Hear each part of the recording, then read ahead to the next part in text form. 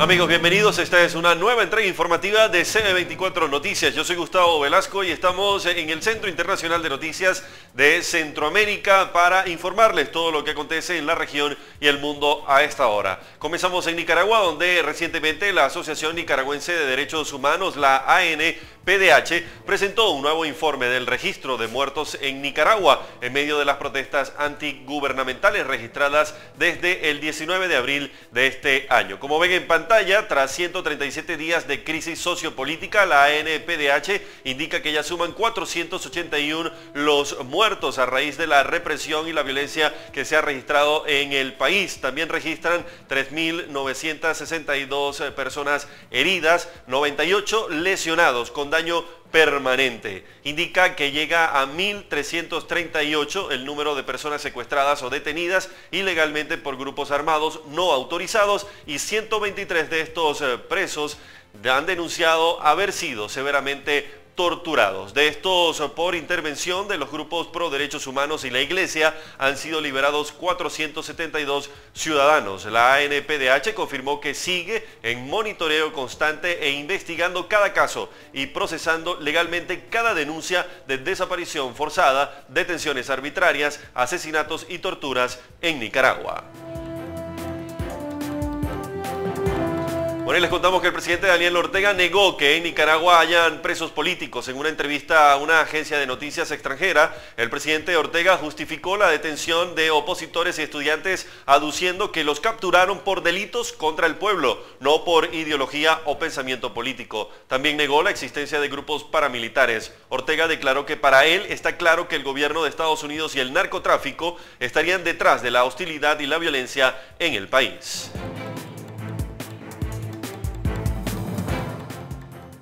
Y la Sociedad Interamericana de Prensa emitió una alarma por Nicaragua denunciando que la prensa independiente está bajo asedio. La CIP indica en un comunicado que en Nicaragua las libertades y derechos esenciales son vulnerados como consecuencia de una campaña de agresión sistemática, continua y creciente por parte del gobierno del presidente Daniel Ortega. La Sociedad Interamericana de Prensa advierte que en Nicaragua está en juego la vida, la seguridad personal, la libre expresión, opinión y reunión, ante lo cual nadie puede quedar indiferente. Indica que en esta etapa de violencia, los periodistas y medios independientes y los opositores y críticos al gobierno son un objetivo gubernamental y de grupos paramilitares protegidos por el Estado. La CIP responsabiliza al gobierno de Daniel Ortega de la integridad y la vida de los comunicadores sociales que arriesgan su vida por la veracidad de la noticia y la defensa de la democracia que son valores fundamentales del ejercicio de la profesión del periodismo.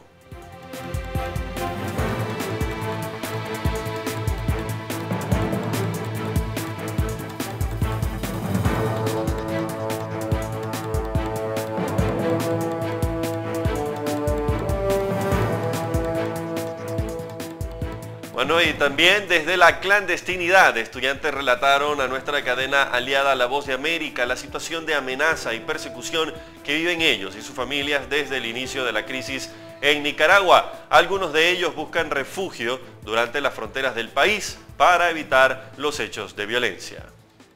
La intención de ellos era matarnos a todos Toreto, Cortado, Murdoch son los alias de algunos de los estudiantes nicaragüenses que protestaron y lucharon en los últimos cuatro meses para pedir un cambio político en Nicaragua. Ahora que las protestas fueron violentamente reprimidas, estos estudiantes se han visto obligados a vivir en la clandestinidad y a esconderse para evitar los tribunales y la cárcel. Ellos dicen que empezaron la lucha porque vieron sus derechos violados, su patria en peligro, sus amigos asesinados. A mi amigo le dio una bala en la cabeza y cayó así prácticamente en mi brazo.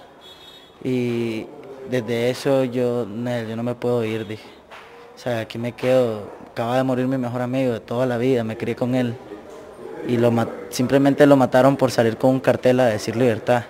Los opositores que salieron a las calles y enfrentaron al gobierno ahora son buscados y se arriesgan hasta 25 años de cárcel si fueran procesados. Una situación que ellos llaman cacería de brujas mientras el presidente Daniel Ortega los define como golpistas terroristas. Él pone ese término a nosotros para que sus seguidores digan de que si realmente somos delincuentes, unos criminales, unos terroristas y nada que ver, porque nuestras armas simplemente fueron unos morteros y molotov nosotros solo estuvimos manifestándonos. A pesar de que algunas universidades volvieron a abrir y para el gobierno la situación en el país se regresó a la normalidad, muchos estudiantes que manifestaron tienen miedo de regresar a sus estudios como si nada hubiera pasado. Tienen una lista, nos tienen este, circulado y si vamos nos pueden llevar presos, nos pueden llevar al chipote, torturar, entonces realmente es un peligro realmente. Quien está escondido está obligado a mudarse cada dos días para evitar que lo detengan, buscando lugares seguros sin espigas. El miedo, sin embargo, es también por sus seres queridos que fueron amenazados como la madre y el hijo de Toreto, solo para convencerlo de que se entregara, dice, para evitar represalias contra ellos. Solo un gobierno tan genocida es capaz de amenazar a una familia, a un niño inocente, a una madre por querer capturar a una persona. La persecución, denuncian, ha sido tan fuerte que muchos estudiantes salieron del país hacia Costa Rica, temiendo por sus vidas. Y en la frontera algunos, como Murdoch, señalan que fueron detenidos y violentados por militares. Y nos comenzaron a golpear, y nos desnudaron y nos siguieron golpeando. A las muchachas las metieron también en un cuarto, y igual las desnudaron y ellas pues estaban pidiéndoles que no le hicieran nada y a otro amigo le dieron con la parte de atrás del ACA en el estómago y simplemente nos dijeron que si volvíamos nos iban a enterrar. Los estudiantes entrevistados por La Voz de América aseguran que las protestas continuarán sin miedo y que Nicaragua no se olvidará de lo que pasó. A pesar de la clandestinidad, la fuga del país y la persecución, ya están planeando regresar y volver a la lucha. Ya di mi vida una vez y estoy dispuesto a dar mi vida por el futuro de todos los jóvenes nicaragüenses, todos los niños, de mi hijo, de toda la sociedad civil, para que toda esa juventud que viene creciendo no pase y no viva lo que nosotros ahora los jóvenes en la actualidad estamos viviendo. Sin embargo, para el gobierno de Daniel Ortega es necesario llevar frente a la justicia a los manifestantes acusados de haber comenzado la violencia, no el gobierno. Jacopo Luzzi, Voz de América, Managua, Nicaragua. Bueno, y luego de dos detenciones preventivas el mismo día, el maratonista que protesta corriendo por las calles de Nicaragua, Alex Vanegas, informó que fue liberado por la policía, cuyos funcionarios le advirtieron que tomarían medidas más fuertes contra él si sigue corriendo por una Nicaragua libre. Que tenía derecho a correr en la calle, que no andaba haciéndole daño a nadie, que andaba por la paz, porque yo ando por la paz y este es un símbolo, le dije yo. Este es un símbolo, el color blanco de la paz, le dije. Yo quiero que estemos todos los nicaragüenses en paz y que no siga esta matanza. Eso es lo que ando pidiéndole.